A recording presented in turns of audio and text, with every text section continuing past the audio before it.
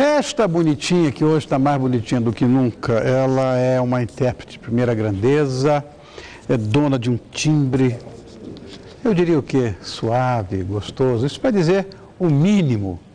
Uh, ele é violonista, é arranjador, é produtor musical, tem um nome discutível, mas de qualquer maneira está com a gente também. Juntos eles fazem o melhor da Bossa Nova. Estou recebendo meu xará Ronaldo Pérez e a Ana Brasil.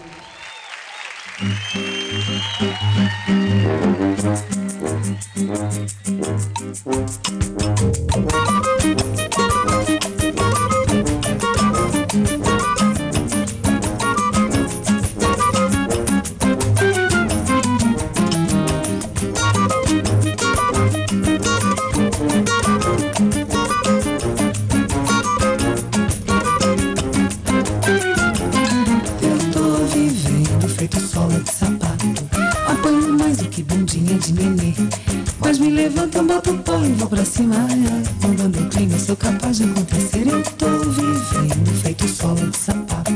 Apanho mais do que bundinha de nenê. Mas me levanto, boto o pão e vou pra cima. É, mudando o clima, sou capaz de acontecer. A minha vida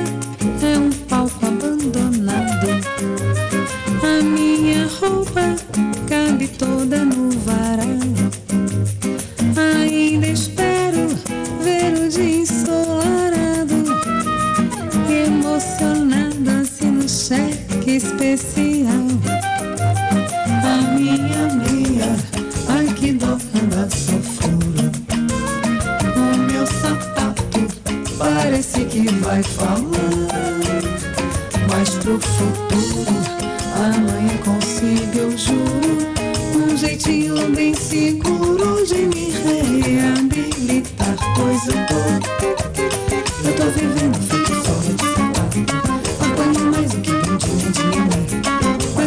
Mas me levanto, boto o pão e vou pra cima. Mudando o clima, sou capaz de acontecer. Eu tô vivendo feito solo de sapato. Apanho mais do que bundinha de neném. Mas me levanto, boto o pão e vou pra cima. Mudando o clima, sou capaz de acontecer. A lua é meu teto,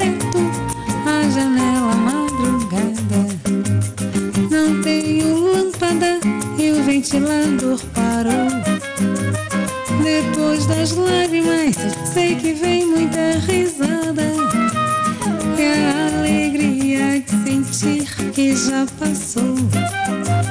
Devo, não nego, pago quando der um jeito. É que a penhora não aceito um grande amor. Mas vou levando, desatando o nó do peito. Aquilo que me diz respeito é preciso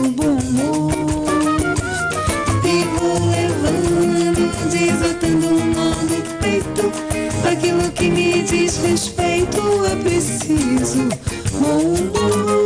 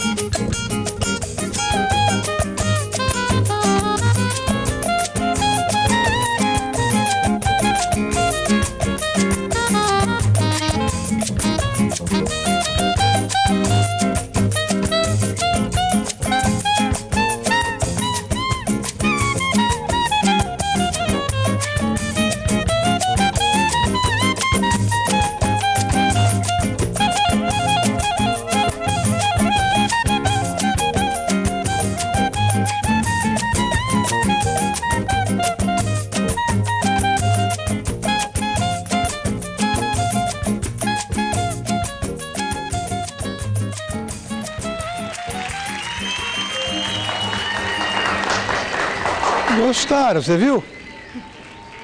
Fala, Ronaldo. Fala, Aninha. Tá boa, amor? Ronaldo. Pode. A gente tem um nome desse que é tão, hoje é tão... Né? Ronaldo tem um monte. Diz minha mãe que quando eu nasci não tinha nenhum Ronaldo, era só eu. Agora, somos aí, sei lá, tão, ficamos famosos às vezes os jogadores de futebol, enfim. Nada é perfeito, falei. Bom, vocês estão juntos nessa estrada há uns 10 anos e focam o trabalho de vocês principalmente na bossa nova, que hoje me parece não ser assim tão executada. Por que vocês escolheram isso? Então, Rony, boa noite primeiro a todos. Prazer estar aqui no seu programa, Obrigado, divulgando o nosso primeiro CD inédito. Parabéns. Então você é nosso padrinho, né? Fazer Ah, quem, quem dera poder ser padrinho de alguém. Então, é assim, na verdade, é, eu nasci, cresci ouvindo bossa nova. E é o que eu sei fazer, é o que eu gosto de fazer, é o que eu sei cantar. Então eu não sei cantar outra coisa, não sei se que bossa nova, samba, bossa nova, Claro né? que sabe cantar outra Não, coisa. Rony, Você eu- pode gostar mais.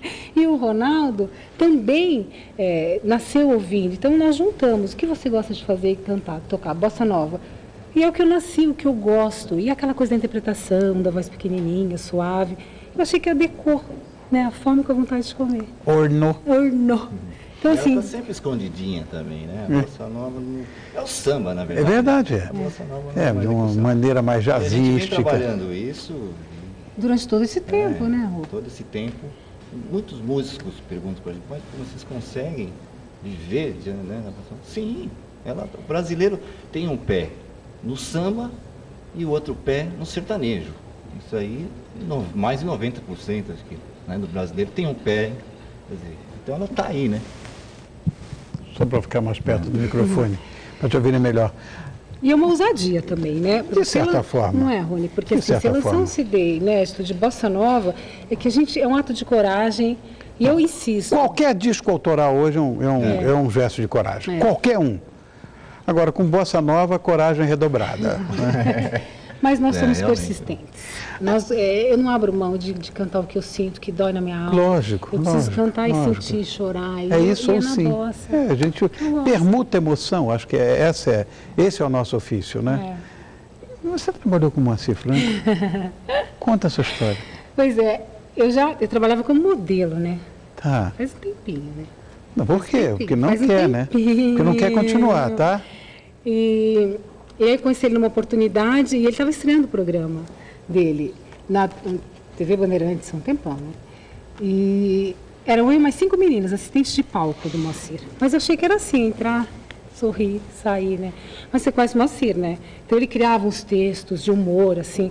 Mas como assim? Eu tenho que decorar? Então você, ele chamava no camarim, olha, tua fra... teu texto é esse. Mas como assim? Olha a entonação, Ana, olha a entonação. Ele ainda ensinava como ele queria que falasse e colocava lá no, no programa. Era uma piada, mas foi, um- foi muito legal. Acho que foram uns dois anos assim.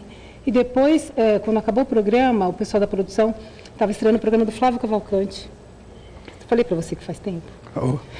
Eu apresentei o programa do Flávio quando ele ficou doente, você imagina? Então, é, aí eu, aí Na eu, Band.